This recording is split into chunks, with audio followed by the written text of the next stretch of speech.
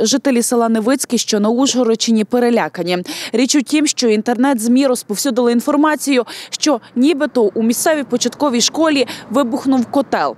Знімальна група М-студіо оперативно дісталася місця події. Однак, як з'ясувалося, людей частково дезінформували. Ситуація зовсім інша. Це замкнуло у самій безбаженці, водокачці. І там навіть показали, від того почали провода горіти, труби, обшивка. Завідувач школи запевняє, їхній котел працює, жодного вибуху не було. Котел е, не вибухнув. Котел ми просто самі його почистили. Ми його зробили, що він погас, потушився, і йому нічого немає. Котел у нас стоїть нормально, як має бути ніякого вибуху. У нас у школі не було. Дітей на період цієї пожежі в школі не було, тому що у нас навчання починається о 9 годині. Інформацію підтвердили і у відділенні ДСНС у Закарпатській області. Ніхто не постраждав, не загинув.